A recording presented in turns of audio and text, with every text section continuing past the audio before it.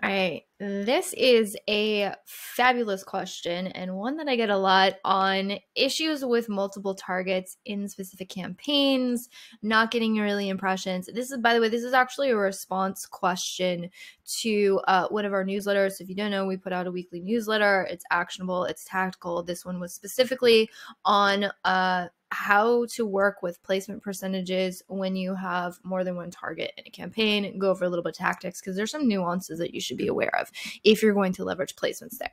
But uh, each of my responses get a customized answer. This one's in the form of a video, so I'm going to be answering this question.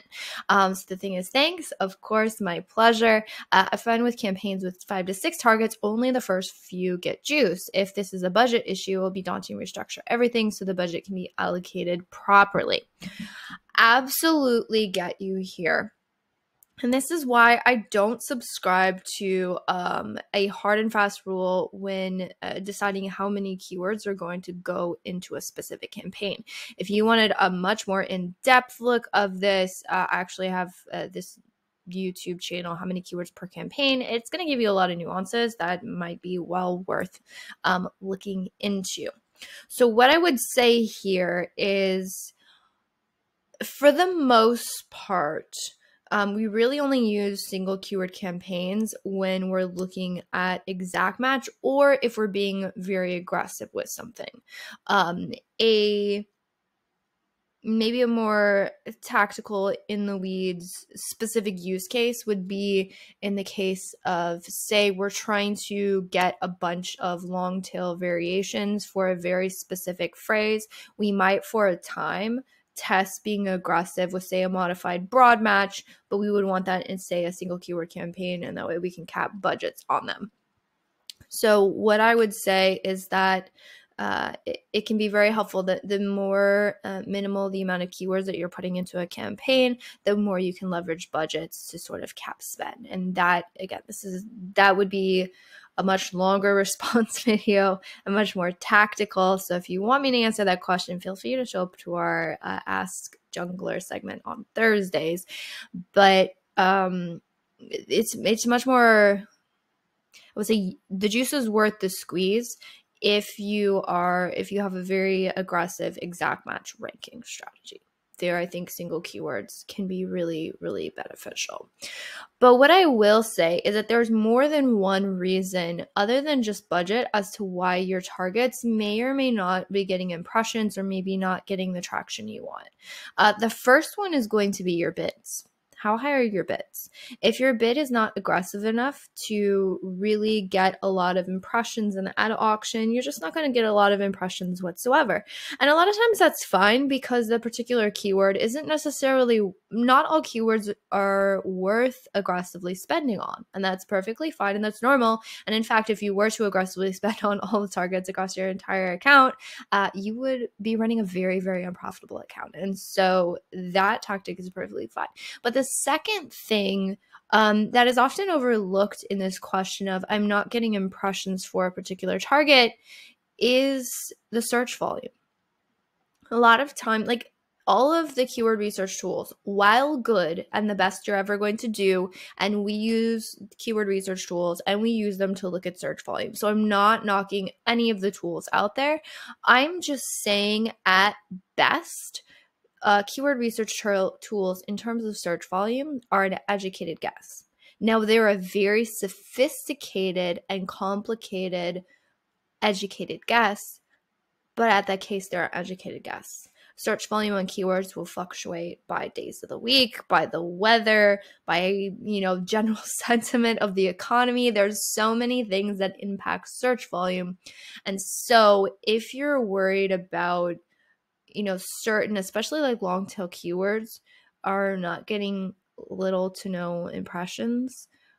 Also, think of it in terms of market. So, because that's kind of a usual thing, it's not abnormal for certain keywords or certain targets to not really be getting many impressions.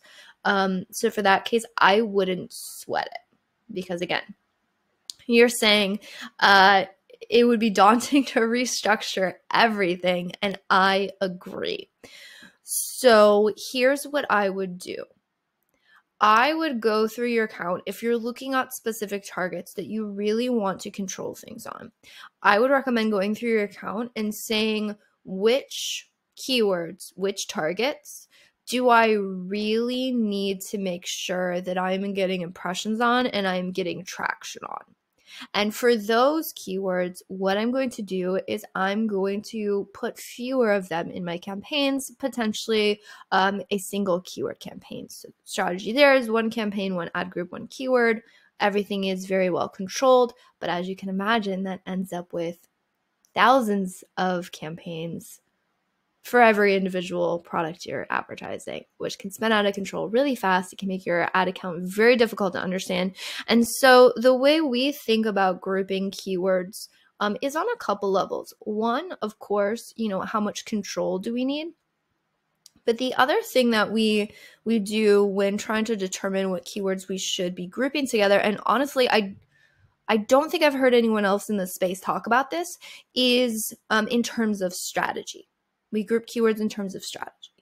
Um, so, for example, if we had a group of ASINs, right? If you're looking at a list of ASINs, you can see which ones are performing or not, but it's a little bit hard to determine where those ASINs were actually found. Versus if we were to group into a campaign um, uh, all of the ASINs that are ranked on page one for our main um, keyword. That would be a very logical grouping that helps us understand the intent of that campaign, and we would put that in the naming structure somewhere. So you can also think of uh, campaigns as ways to logically group keywords you can understand and better optimize based on the strategy that you're trying to run there i would also think through it in orders of that um, so again i would only if you're if you're going to restructure only pick the targets that you really need to be intentional with. Again, not every single keyword is going to uh, need the aggressive bids that are going to re- you're going to be required to get that amount you know high amount of impressions you want and you just might not have the stopper search volume on those keywords. The other thing i would say and this is a pro tip here as well some people talk about it but again i don't think it's talked about enough is how to go about the restructuring so you need to be very intentional here because oftentimes what people observe, and this is true, is that old campaigns tend to perform best. The original placement of keywords and the original campaign setup uh, tends to continuously get the best performance, which can be a problem again when you're trying to isolate something, right? You're want to getting more intentional, more strategic, but you're saying, I have this really good performance in the original campaign. How do I have my cake and eat it too? So here's how you do that. What you want to do is that for every single um, for all of your best targets, leave them in the original campaign. Now, obviously, just doesn't work if you're trying to launch it in, say, uh, another match type or a different match type. Like if you have it working in phrase and you need to put it in exact. But if you have the original keyword in the match type and in the structure you want, you just have all this other stuff around it instead of taking out your best performing things and putting them in the new structure, in the new campaigns, what I recommend is leaving your best performing things. And you can, quote, repurpose these campaigns uh, simply through renaming the campaigns and renaming the ad groups. We actually have a video on our channel how to do that. Um, or renaming through bulk files because it's a lot easier to rename things at scale through bulk files. Recommend that checking out that video if that would be helpful. Um, but again, so what I would say is leave the best stuff in the original, rename the campaign if you have to, and then I would take all of the other stuff out and I would put that in the other campaign. And again, I'm only doing this for the things that are going to be really important for my control in terms of bids, budgets, all of the above. Everything else, just know that some targets getting impressions and some not is just the name of the game. You will never despite how high and insanely high you put your bids, you will never have all of your targets across your entire account generating high volumes of impressions. And in fact, despite even high bids and budgets, you might have certain targets that will never generate impressions. And again, that's totally fine. Um, and in fact, if you restricted your account to only the targets that are generating high volumes of impressions and got rid of everything else, you would actually significantly hurt your visibility on the platform. It's not a good strategy. So I would say, again, you want to be intentional with the things that you need to be intentional with, and the rest of it, optimize it um, for the best performance in whatever level that makes sense for your account. So hopefully it helps.